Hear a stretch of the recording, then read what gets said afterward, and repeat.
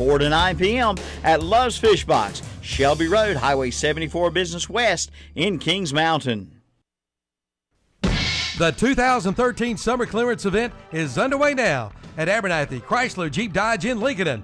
Coming in now for some red hot summer deals on the 013 Dodge models, including the new 2013 Dodge Dart, starting at 15,995 plus zero first month payment, zero down payment, zero security deposit, and zero due at signing. See Abernathy for all the details. The 2013 Summer Clearance event underway now. Abernathy Chrysler Jeep Dodge, 1442 East Main Street, Lincoln.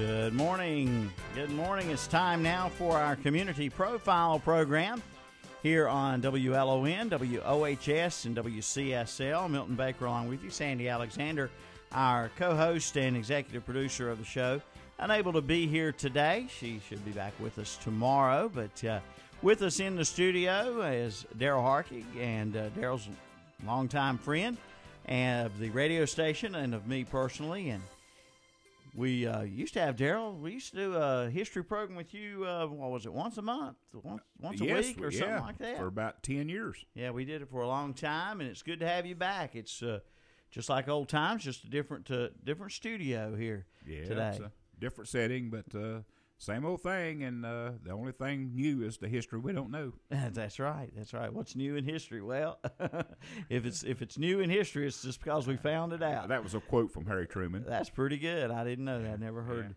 Yeah, yeah. never heard that one before.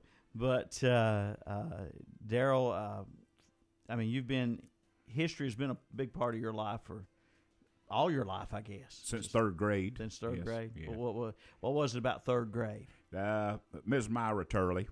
She uh, inspired was the you? daughter of Alfred Nixon, and she had me sit, sitting on the front row, and she talked about log cabins and Indians and pioneers, and Hmm. I thought that was the most wonderful thing. And I learned to spell Indian, learned to spell TP, and and log cabin, and all those things. She taught me so much, and but she Mm-hmm. really she really sparked that interest in history. There you go. You never know where it's going to come from. Uh, a, history teacher, other subject. Uh, there'll be a teacher involved though that sets you on the right path. I think uh, mine was an English teacher, and uh, and uh, I- didn't particularly enjoy public speaking, but uh, somehow uh, the English and literature I really enjoyed. I had a good teacher, and uh, and it it kind of got me excited about you know communicating, I guess, with people. So uh, that sort of led me in the broadcasting business. Yeah, that's uh, my wife always says I never met a microphone I didn't like. well, there you go, uh, Daryl. Uh, you know, I, I had Sandy to contact. I said we just got to get Daryl on the program. We've been we've been doing this a couple months now, several months, and been meaning to get you over here. And I, I just told her I said we've got to get Daryl uh, on the on the radio with us here for sure. And so uh, uh, I had her call you, and I, I didn't know what uh, y'all uh, had planned for today, but you said you wanted to come in and talk about the wealth of Lincoln County. Lincoln County, uh, what uh, what put it, uh, so to speak, I guess, on the map uh, in the beginning and through the years, Daryl. So, Right. Yeah. And before we get started, I'd like to say a special hello to my good friend uh, Rodney Ewing, who's listening this morning. He's a my circle of friends now are a lot of uh, history buffs and history Mm-hmm. teachers, and Rodney taught history at Lincoln for about thirty years and uh, very knowledgeable. And uh, I'd like to say hello to him. Yeah, there you go. Very And good. if anybody wants to, of course, you can hear Daryl here on the radio, but if you've got access to the internet, ktcbroadcasting.com, that's ktcbroadcasting.com, and you can click on, uh, you go to WLON and, and click on the uh, uh, live, uh, watch, watch it live uh, uh, button there, and you can see Daryl here in the studio with Captain Harkey hat on. Where's Captain Harkey hat come from? That was one of my birthday gifts from my daughter Julie. Okay. All right. So it's a, nice hat. And Captain I'm the Harkey. captain of my ship. I got a 23 foot boat, and I'm declared myself captain. There you go. There you go. Well, great. Yeah. Fantastic. Hope you get to enjoy that boat uh, for a long time. Well, uh, Lincoln County started out. Uh, I guess one of the, the major things that drew people to Lincoln County was was what Daryl the the well, industry wise, uh, the climate and the soil and all and everything, and the the water power.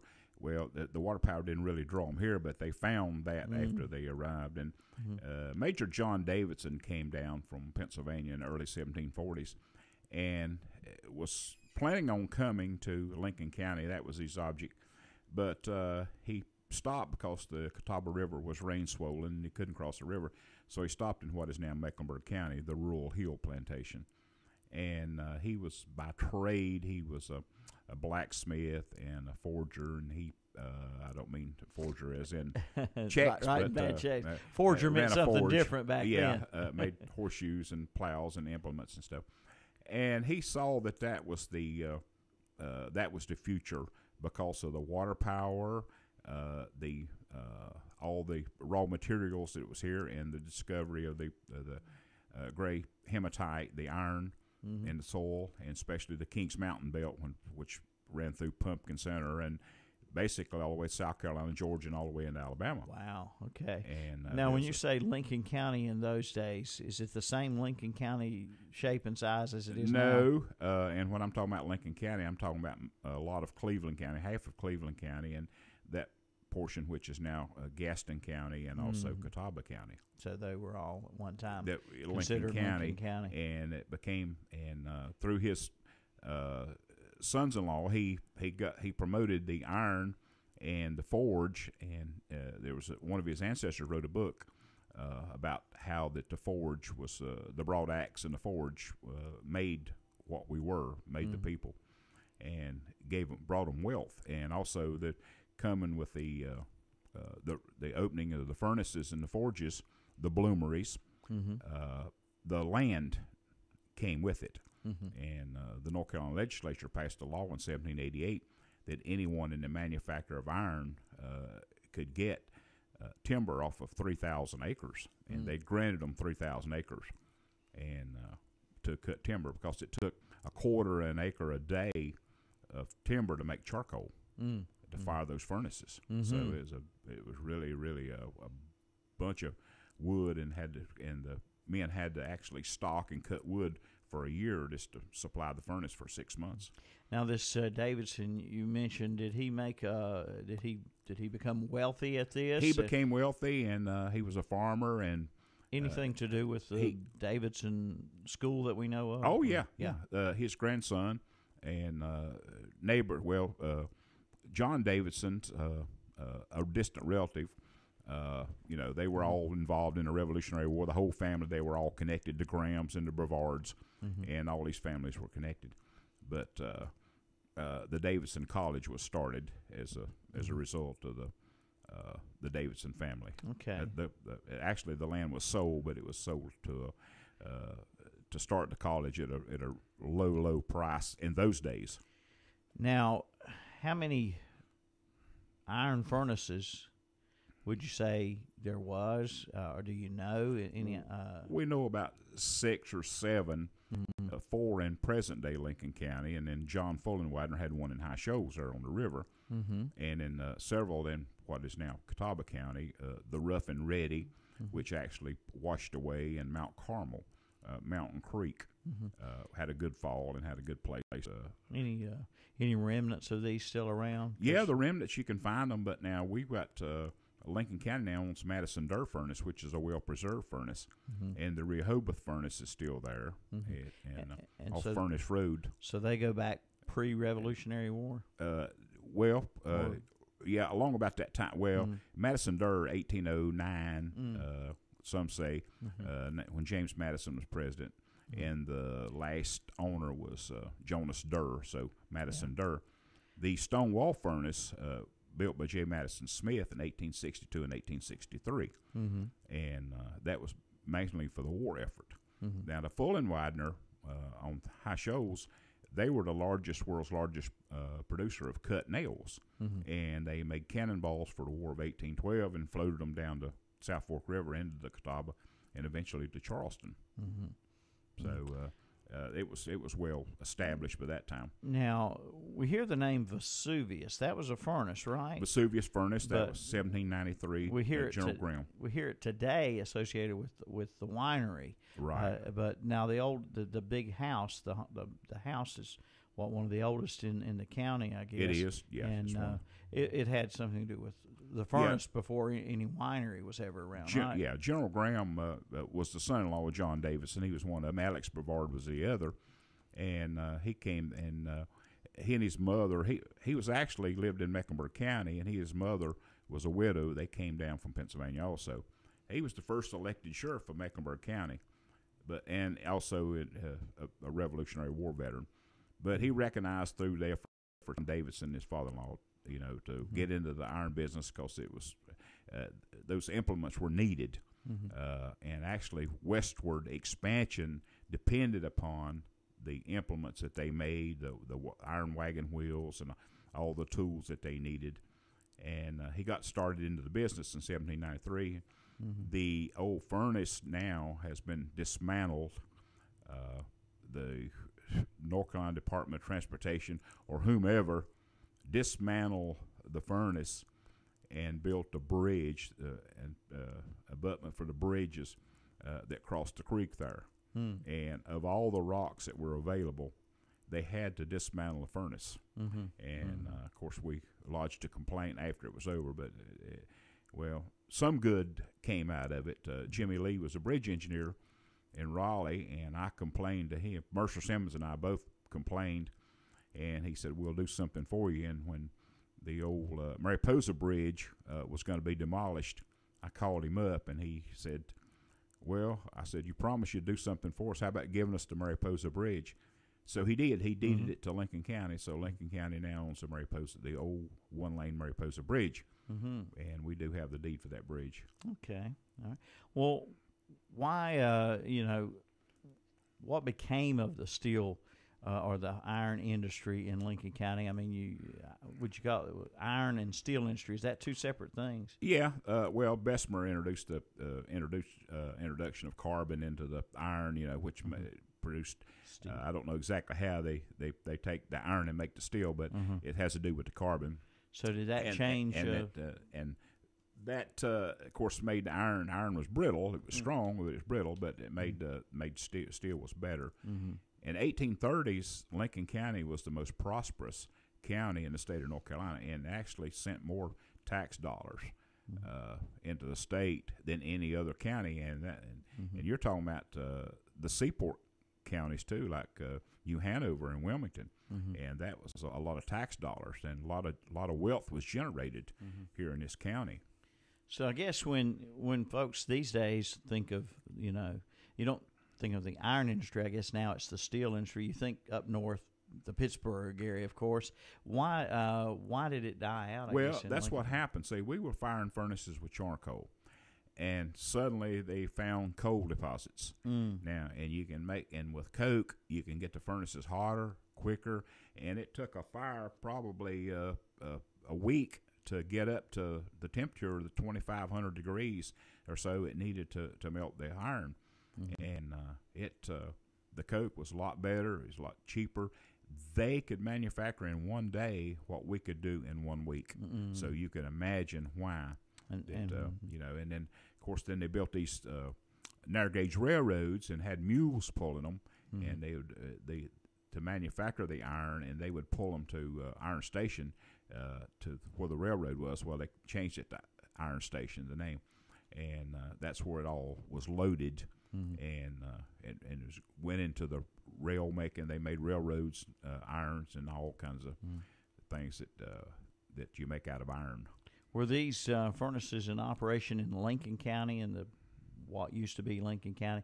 Were they still going at the time of the Civil War? Did that Well, right up to the? Civil War, and then and it, there was really a big demand in the Stonewall furnace. James Madison Smith had purchased had uh, had purchased Vesuvius by this time uh, from the General Graham's son James, and uh, he started. Uh, and we know really more about it because my uh, grandfather uh, ran the day to day to day to day operations, and he had a day book and I've got a copy. I don't have the original, but uh, Mercer Simmons and Peggy had the original copy, and I took that book and copied the whole book. But uh, Michael Hovis, my grandfather, uh, logged in thing, and and it was a, a barter system that uh, that he would people would bring uh, uh, beeves, uh, half of cows, and and uh, and hogs and stuff, and uh, it took. There's a little community there that uh, that the iron furnaces of about 200 people, and slaves were included, and uh, that that took to uh, actually uh, the colliers who made the charcoal and the people who brought in the stuff. It uh, and it took about 200 people to operate this thing. Mm-hmm. And of course, always nearby there was a graveyard, Mm-hmm. and across the creek uh, from Madison uh, Derr is a, a graveyard, Mm-hmm. and they're m- not marked, but uh, you know, we know their graves. Mm-hmm. And when people died or were killed, uh, you know they were taken and buried, especially the ones that, that were from from other places that didn't have a family, and, Mm-hmm. and they were buried there. But uh, uh, and someone had asked me one time about the dangerous jobs, you know, a- actually uh, operating the, the the cubalo, what we call the cubalo, Mm-hmm. uh, and uh, how hot it was. And the life of those people was about seven or eight or nine years Mm. because the, the intense heat just dried up the veins in their legs. Wow. And it was just so hot. And they wore these big leather aprons that cow hides, and sometimes they were eight and nine thick Mm. hides, but the still heat, the heat got to them. Mm. And they'd ask, uh, did the, uh, of course, they would have put the slaves up in that position. And I said, no, no, no Mm-hmm. that's a slave was not allowed in that position because the life was so short Mm-hmm. that a slave was worth a thousand dollars, Mm-hmm. and you ha- and a man in that position was making fifty cents or seventy five cents a day. Yeah. So he's the man that, that did that job. Yeah. A thousand dollar slave was not even allowed to get close to Mm, Yeah. that The life of the uh, free man was worth less than the that, life that, of that the of a slave. slave because of the value, Yeah, right? That they about that? placed on Yeah. That is something.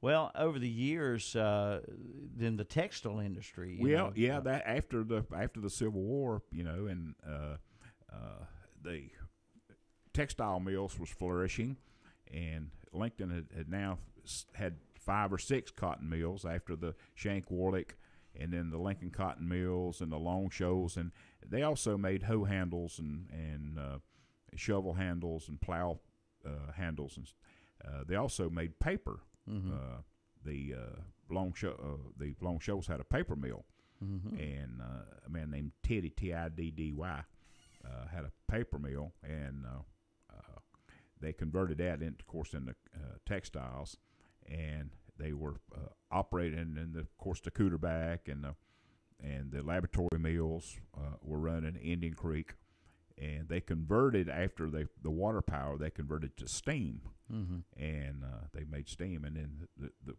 course the Saxony mills, and then uh, later on electricity, and the first electric operated mill was just probably a couple hundred yards from your house. Uh, they call it the lightning bug because Mm-hmm. Right. it ran by electricity, but it was the Princeton mill, Okay. and people gathered around to watch it catch fire. Oh my. okay. Yeah, I know. Uh, I know a little bit about that uh, mill. I've, I've learned about it in recent times. Uh, uh, there on uh, what's uh, presently called Cotton Mill Lane in Crouse. Was that uh, Cotton Mill Lane? It gets its name from that mill. That's it. Yeah, That's the mill. Okay. right there beside the railroad tracks, and Yeah. They built a lot of railroad. Every mill had a railroad track spur Mm-hmm. that came in, and then uh, the road, of course, Rhodes Rhine and Roseland, and all these mills came into existence. Lincoln was actually ringed by cotton mills, some nine or ten mills, Mm-hmm.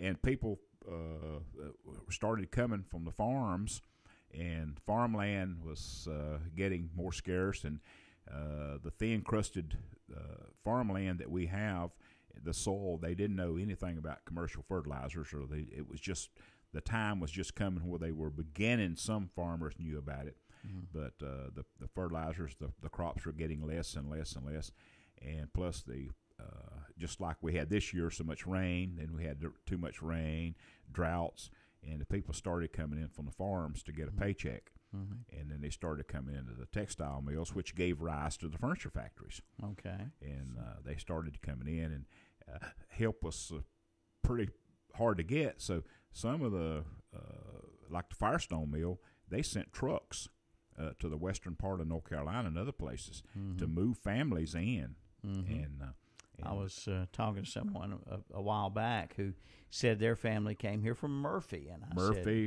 they- Bakersfield. They, they came in they because of they came to get them to come here to work. They, they brought them in on a truck and moved them in, and they built houses. And uh, the house that I was born in, in Glen Mills, uh, it was part of Camp Greene, uh, World War uh, Training Center in Charlotte. Mm. Uh, after World War One, they dismantled Camp Greene and they loaded the lumber on flatbed railroad cars Mm-hmm. and brought it uh, to places where people bought it.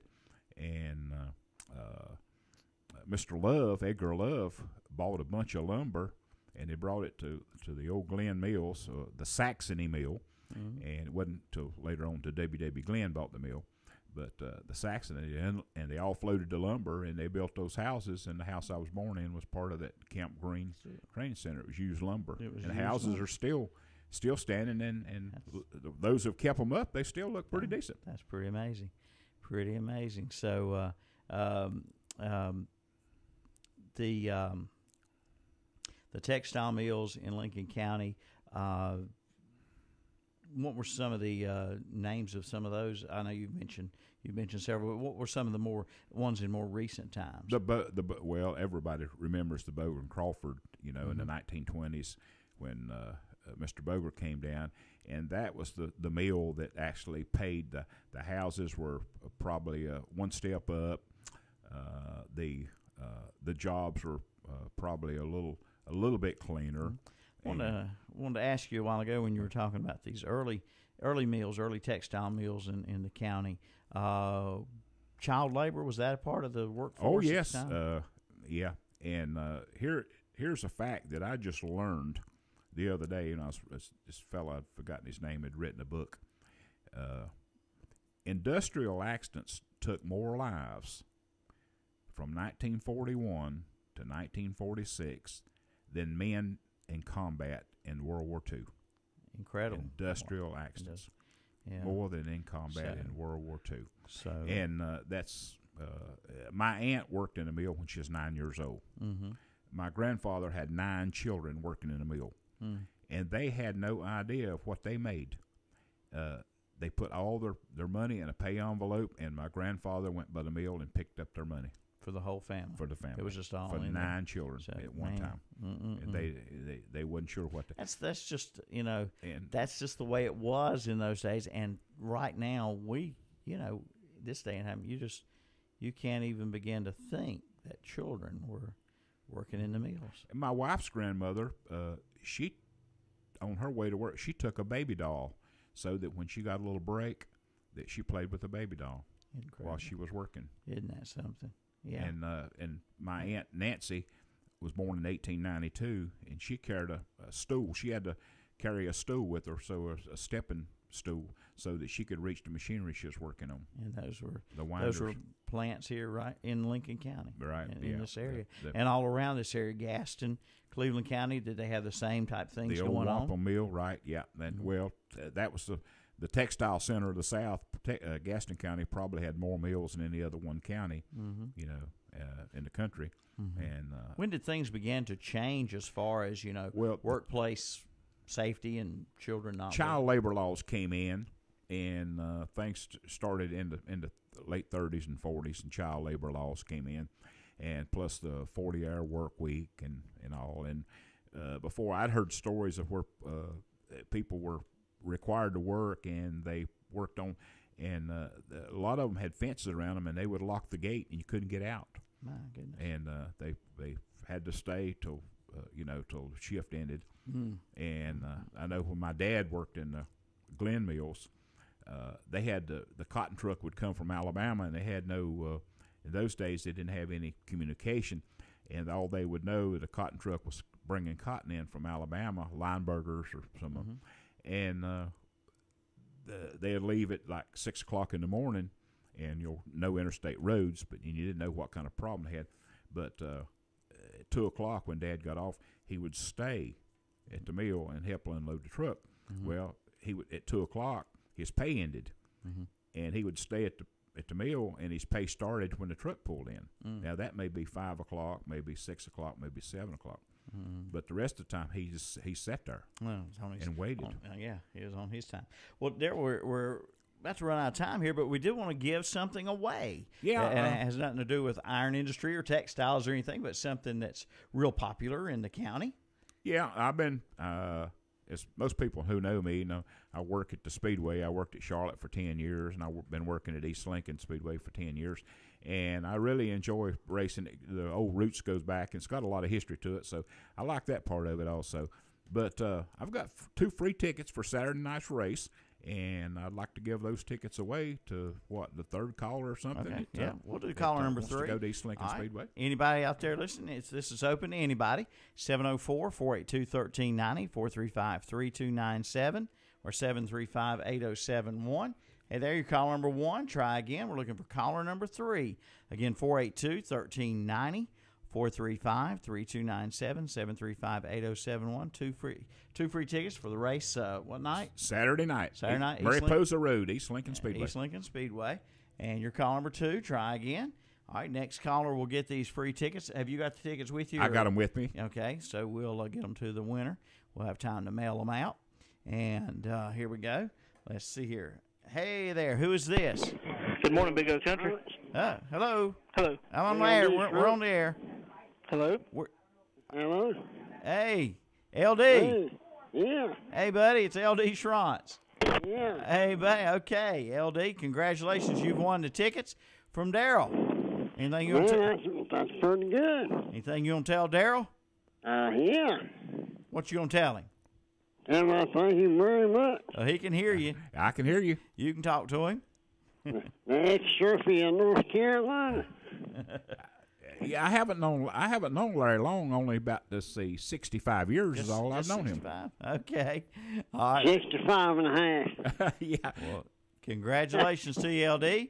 And uh, we'll send those tickets to you. We got your address, so we'll we'll drop them in the mail unless uh, unless uh, I can- D- unless Daryl wants to bring them to you. I'll bring them right to his house. Okay, you're gonna get You know you're, what? you're gonna get you're gonna get uh, home delivery on those tickets. You, you know what I mean? What's that?